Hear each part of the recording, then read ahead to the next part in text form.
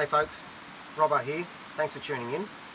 Uh, this afternoon we're going to be cooking on a 12 volt rotisserie and we're doing a boneless shoulder lamb.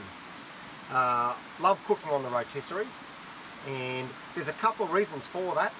One is you don't have to do anything. All you got to do is just keep cooking or keep supplying the heat source. Uh, so it just sits there and does its own thing. It's also a really good talking point, especially when you're out camping. And the flavours and the smells that that meat get when it's cooking over hot coals on a smoky fire is just, you can't even compare it to what you do at home. So it's fantastic. The only thing though when you're, when you're cooking on a rotisserie out here is, is you can't control your, your cooking environment. So say if it takes an hour and a half in a conventional oven, you pretty well need to double it only because it's not inside an oven or you can't put a hood over it and control that environment. So it's open air and you've only got the heat source underneath. But anyway, pick this up from Woolies. Uh, this one's rolled up. I want to cut it open, have a look at it. I might cut it into some medallions and that might quicken up the, the cooking time of it. But what I want to do this morning, prep it, cut it, put a nice rub on it, put it back into the fridge and let all that flavour absorb into the lamb. I love, I love eating lamb. Lamb is just, it's a meat that just soaks in flavour. And whatever you put into that meat, it comes out in the cook and you can really taste it. So I want to put a rub on it. And I don't really have a particular rub, it's just whatever I find in the cupboard and whatever I bought up today. So I'll have a quick geese.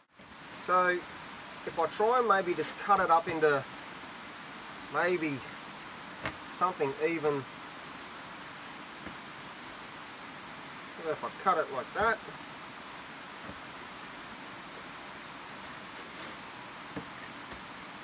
If I do the same this way, so it looks pretty even.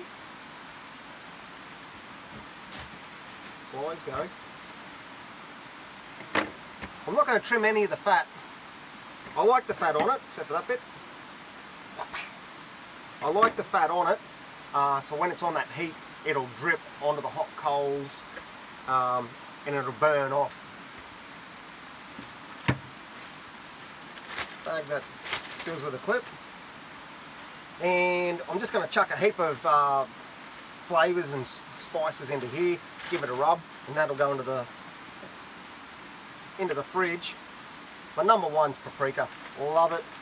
Uh, has good flavours in it and gives good colour to the meat. Turmeric. It's underrated. Love turmeric. Moroccan lamb, standard. That's just whatever I had left. And you can put heaps of different types of thing on, like garlic salt, bloody, whatever you want. Curry. And I picked this, I went to Bunnings the other day and I bought one of those $69 smokers just to try it around, see if I like it. And while I was there, there was a heap of uh, different rubs. And I got this one here, it's a, it's a beef seasoning. Um, it's, it's, uh, it's actually really, really nice. It's, it's got some good savoury. It's really coarse to do a bark on your briskets but it has a nice bang spice at, at the end of it. So that's that's one of my favourites right now. That'll be enough. And pepper. I won't put salt in yet. I'll put salt in later on. I don't want salt on it yet. There you go.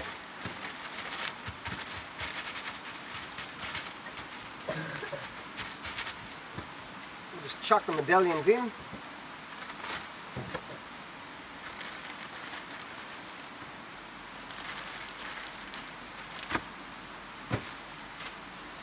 We've got a rosemary bush at home. Can't go wrong. It's great with lamb. Chuck it in, absorbs.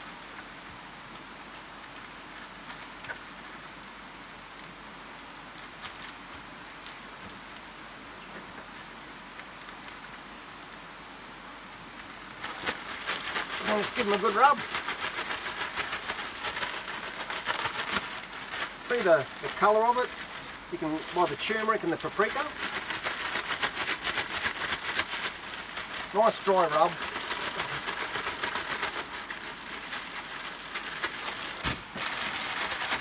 Now that's just to go straight back into the fridge and let the rub do its thing. Lamb soaks up flavour, something terrible, so this will taste really, really nice. Um, it's about 1.3 kilos. I would say that this would uh, maybe take three hours on the rotisserie. Uh, so we'll put that in the fridge and then later on we'll build up a nice fire, get some good coals for a good sauce and then um, we'll show you the next step. Hey guys, so it's about mid-afternoon. We've already got the, uh, the 12 volt rotisserie set up down near the fire. We've measured it out with what we need. Um, we've got the medallions out. I don't know, there's no actual way of doing it. I like just putting an onion on either side as well. Then you've got a bit of cooked onion with it and it enhances flavours. That outside and it's just trying to pierce it in.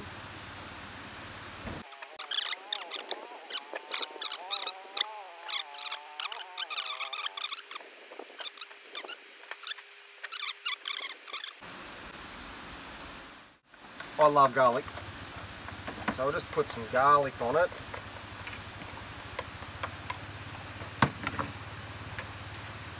Oh, look at that. Smash that garlic.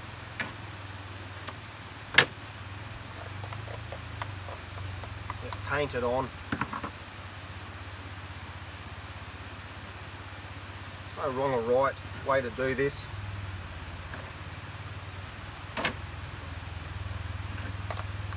How's that?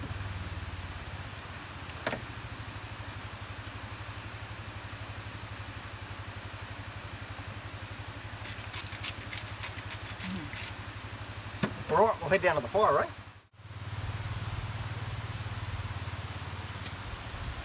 That's got some real heat to it. And then you just let it go. You don't do nothing else.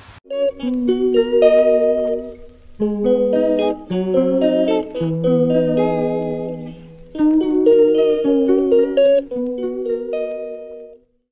guys, it's, it's about two and a half hours into the cook and I want to do a quick sauce that I want to baste on it to give it that nice little uh, finish where it'll make it nice and sticky. Using a bit of, um, the reason we're a little late is we got on the beers, something different. Whole grain mustard, and this is whatever you find at home really, it's, it's, it's nothing specific, it's just whatever you got. And this is what I found up at home, so I brought it up. Worcestershire sauce.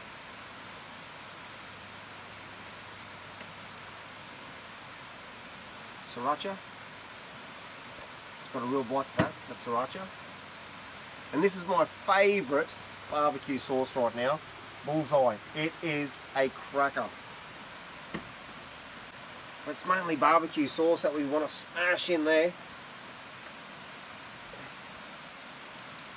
with Worcestershire sauce. What else we got? Whole grain mustard, a bit of honey.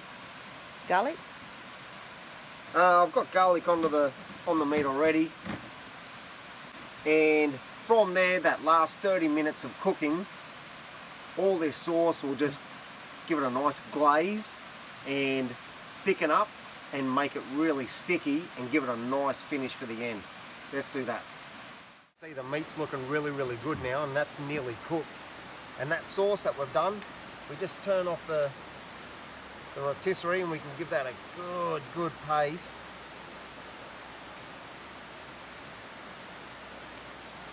Rotate it a bit more. Now look at the colour on that, that looks fantastic. Just the smell coming off this lamb looks fantastic.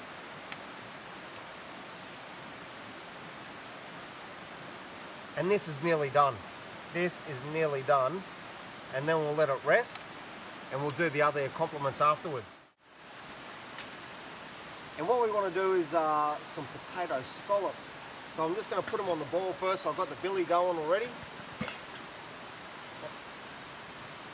Boiling away already. Woo!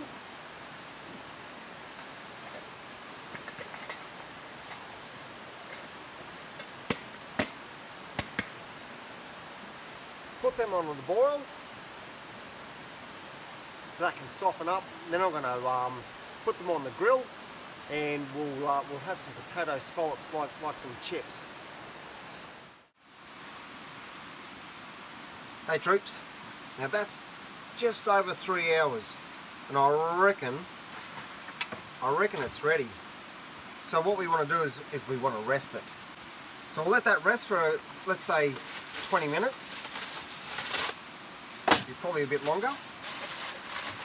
And we can start doing the next bit of the dish.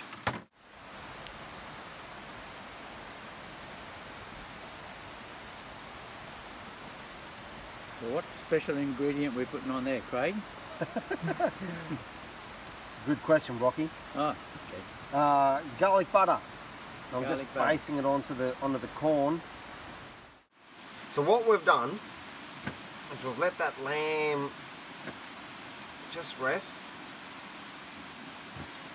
Holy jeez, it smells good anyway. But we do a nice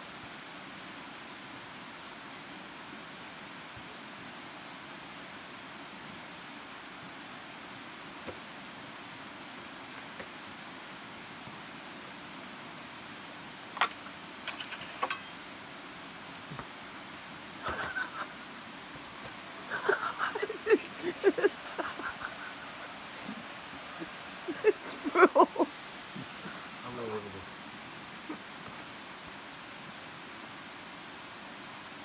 Now have a gaze at that.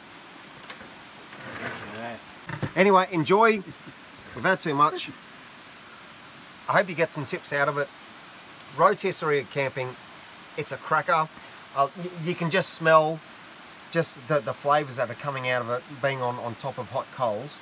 Um, enjoy. We're done. Let's get some wine and have enjoy this.